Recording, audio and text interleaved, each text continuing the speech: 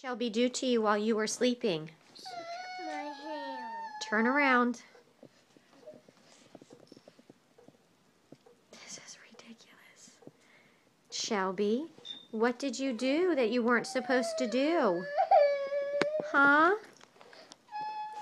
Do you feel bad about cutting your hair and your sister's hair? Turn around.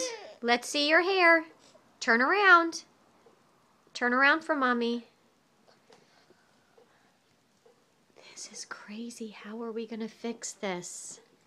How are we going to fix this, love? Uh, maybe. Turn around, I Shelby. know. Maybe we can Turn around. It. Maybe we can brush it. Sweetheart, I don't know what. It's going to take a very talented hairdresser to fix what you did. What do you have to say to Mia? Did you cut Mia's hair?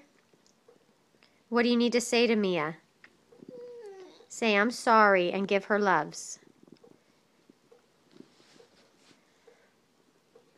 Okay, we better call the hairdresser and make an appointment.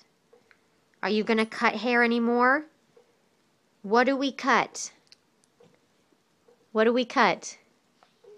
Paper. And now I'm going to have to go clean up all that hair out of your bedroom. That's not what I wanted to do this morning. But guess what? You're still beautiful.